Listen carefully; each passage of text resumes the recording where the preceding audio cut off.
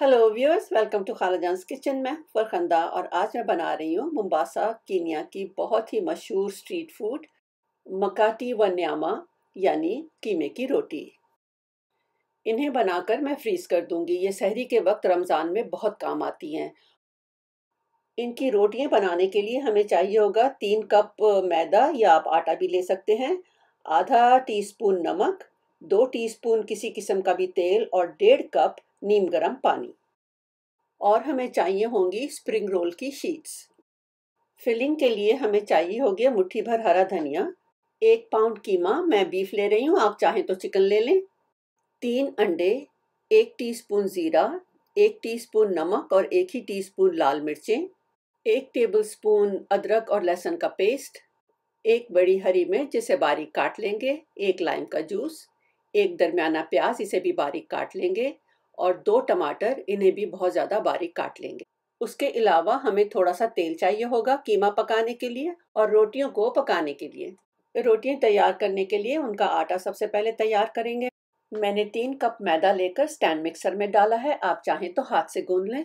उसमें डाल दिया है नमक, तेल और आधा कप पानी और इसे हम पहले मिक्स करेंगे और पानी जो है वो हम आधा आधा कप करके डालेंगे। मैदे को थोड़ी देर मिक्स करने के बाद हम आधा कप और डाल देंगे। और आधा आधा कप करके डालने का मकसद ये है कि डो जो है वो बहुत ज़्यादा पतला ना हो जाए। अब तक इसमें पूरा एक कप डल चुका है और इसे अभी और आधे कप पानी की ज़रूरत है। तो हम इसमें बाकी का आधा कप पानी भी डाल देंगे और अब इसे अच्छी तरह से मिक्स करेंगे। और अब देखिए डो जो है वो इकट्ठा होना शुरू हो गया है। तो इसका मतलब ये कि अब ये तैयार है। और इसे हम चेक कर लेंगे, ये ऐसा होना चाहिए कि ना तो बहुत सख्त और ना ही बहुत पतला। अब हम इसके ऊपर थोड़ा तेल लगाकर और उसे ढककर और एक तरफ़ रख देंगे और अब हम उसकी फिलिंग की तैयारी करेंगे। फिलिंग बनाने के लिए पैन को मीडियम लो हीट पर रखा है और उसमें डाल दिया है दो टीस्पून तेल और फिर उसमें डाल दिया है ज़ीरा।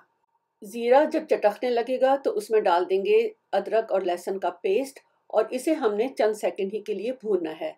और अब इसमें हम डाल देंगे कीमा। कीमा जो है, मैं बीफ का ले रही हूँ। आप चाहें तो चिकन का ले लें, लैम का ले लें या मटन का ले लें। कीमे को हम थोड़ी सी देर के लिए पकाएँगे और फिर इसमें डाल देंगे नमक और लाल मिर्चें। नमक और लाल मिर्चें जो हैं, मैं एक एक टीस्पून इस्तेमाल कर रही हूँ। आप चाहें तो अपने हसब ज़ायका कम या ज़्यादा कर लें। कीमे को पकते हुए तकरीबन पाँच छः मिनट हो गए हैं और अब इसका पानी भी खुश्क हो गया है तो अब इसमें डाल देंगे हरी मिर्चें।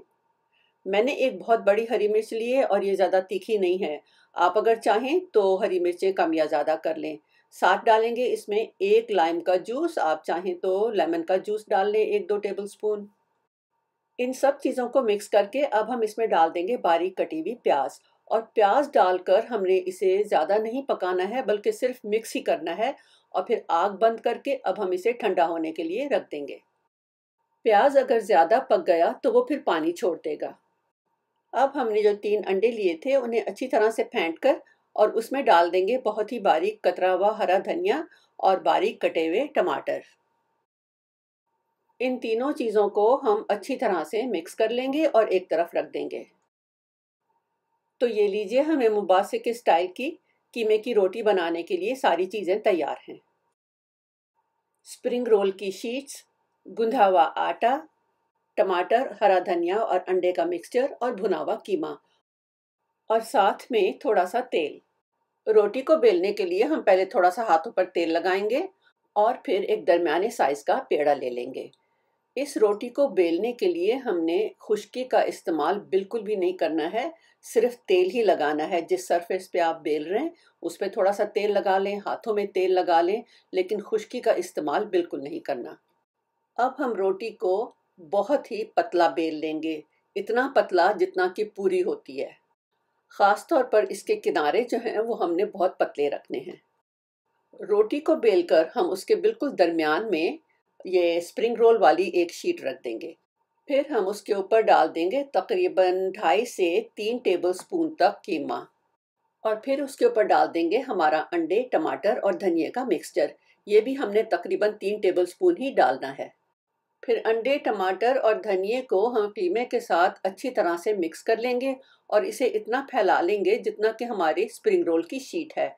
क्योंकि हमने बाकी के सारे लेयर्स जो हैं, वो ऊपर फोल्ड करने हैं और नीचे का जो बेस है, वो सिर्फ़ एक ही लेयर होता है। तो इस तरह की शीट रखने से नीचे, उसमें थोड़ी सी बॉडी आ जाती है और हैंडल करने में आसानी हो जाती है।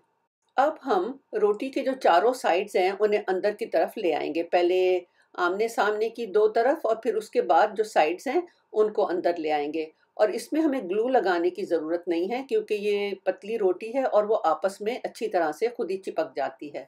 अब हम इसी तरह से बाकी के पैकेट भी तैयार कर लेंगे। इन्हें पकाने के लिए मैंने पैन को मीडियम लो हीट पर रखा है और उसमें डाल दिया है एक टीस्पून तेल। तेल के गर्म होने के बाद जो हमने फोल्ड की हुई तरफ़ है, वो नीचे रखकर और इसे हम पकाना शुरू करेंगे। और हल्की आग पर पकाने का मकसद ये है कि इसमें बहुत ज़्यादा लेयर्स हैं और अंदर कच्चा अंडा है। तो हल्की आग पर पकाने से फिर ये अच्छी तरह से अंदर तक पक जाता है। और क्योंकि ये ज़रा थिक है, इसलिए हम इसको इस तरह से इसकी साइड्स को भी पकाएँगे। तो इसे पकाने में तकरीबन पूरे छः सात मिनट लगे हैं और ये अब तैयार है।